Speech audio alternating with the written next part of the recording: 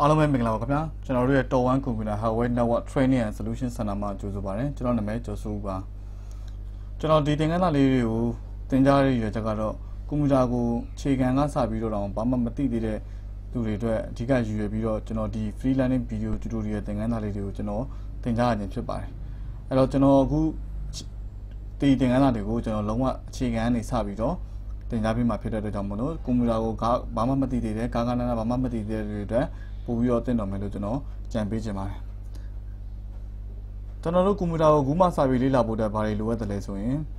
မတ်တစ်ကွန်ပျူတာကိုတကယ်တိုင်းတော့ချင်တဲ့စိတ်ရှိဖို့လိုအပ်ပါတယ်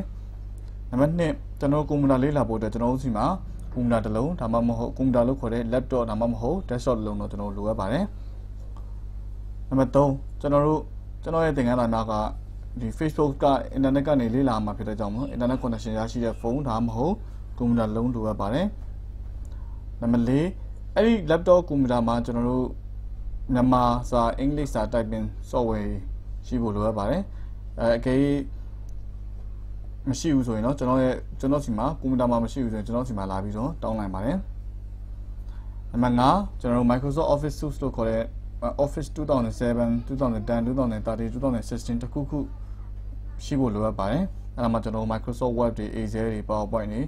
လုပ်တဲ့ခါမှာကျွန်တော်တို့အဆင်ပြေပါမယ်အဲ့တော့ကျွန်တော်ကဒီဆက်ဆောက်ဦးဆုံး free learning tutorial သင်ခန်းစာတွေမှာကွန်ပျူတာကိုဆက်ဆောက်ဦးဆုံးဘာမှစပြီးလေ့လာမယ်ဆိုရင်အတွက်ရည်ရွယ်သင်ကြားပို့ချတဲ့သင်ခန်းစာတွေကတော့ကွန်ပျူတာ basic class တော့ပေါ့နော်အဲ့တော့ပထမဆုံးကျွန်တော်တို့အင်္ဂလိပ်စာ typing အင်္ဂလိပ်စာအင်္ဂလိပ် typing လေ့ကျင့်ခြင်းပေါ့နော်အဲ့တော့ဆိုတော့ကျွန်တော်တို့လက်ကွက်ပေါ့လက်ကွက်လက်ကွက်ကျင့်တယ်လို့ခေါ်တာပေါ့နော်လက်ကွက်ကျင့်ဖို့အတွက်အရင်ဆုံးကျွန်တော်တို့ အင်္ဂလိပ် typing အရင်ကျင့်ဖို့လိုအပ်ပါတယ်ဟုတ်ပြီနော်နံပါတ်2မြန်မာစာ Unicode typing လေ့ကျင့်ခြင်းအဲ့တော့ကျွန်တော်တို့အင်္ဂလိပ်စာ typing ရပြီးမှကျွန်တော်တို့ဗမာစာ typing ကျင့်လို့ရမယ်အတွက်ကြောင့်မလို့အရင်ဆုံးကျွန်တော်ကအင်္ဂလိပ်စာ typing လေ့ကျင့်လေ့ကျင့်မှာဖြစ်ပါတယ်ပြီးရင်မြန်မာစာလေ့ကျင့်ရမှာဖြစ်ပါတယ်အစင်လိုက်သွားမှကျွန်တော်တို့အစင်လိုက်အစင်လိုက်ကျွန်တော်ပို့ချတဲ့အတိုင်းအစင်လိုက်သွားမှအဲလင်းလင်းမြန်မြန်နဲ့ကောင်းကောင်းစနေတကြတက်မှမှာဖြစ်ပါတယ် နံပါတ်3 mouse mouse သုံးတာကျွမ်းကျွမ်းကျင်ကျင်သုံးတတ်ဖို့လိုအပ်ပါတယ်ဆက်စပ်ဦးဆုံးလေးလာဆက်စပ်ဦးဆုံးကွန်ပျူတာကင်တဲ့လူတွေအတွက်မြောက်ကအဲ mouse သုံးတဲ့နေရာမှာအဆင်မပြေပါဘူးဟုတ်ပြီနော် mouse ကိုသုံးတဲ့နေရာအဆင်မပြေဘူးဒါပေမဲ့အဆင်ပြေအောင်လို့ကျွမ်းကျွမ်းကျင်သုံးတတ်အောင်လို့ကျွန်တော်ကလမ်းညွှန်သွားပါမယ်ကျွန်တော်တို့နံပါတ်4မြန်မာစာမှာပတ်စင်တွေပတ်ကင်းစီတွေရိုက်နေကျွန်တော်သင်ပေးပါမယ်နံပါတ်5ကျွန်တော် Microsoft Word သုံးနည်းသင်ပေးမယ်နံပါတ်6 Microsoft Office Excel သုံးနည်းထပ်သင်ပေးမယ် နံပါတ်9 PowerPoint Microsoft PowerPoint သုံးနည်းသင်ပေးမယ်နံပါတ်10 Microsoft Office Publisher သုံးနည်းသင်ပေးပါမယ်အဲ့တော့ Microsoft Office Word ကဘာလဲဆိုရင်ကျွန်တော်တို့ရုံးစာရိုက်မယ် CV form တွေရိုက်မယ်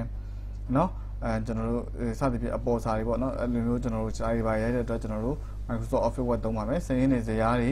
အဲဟို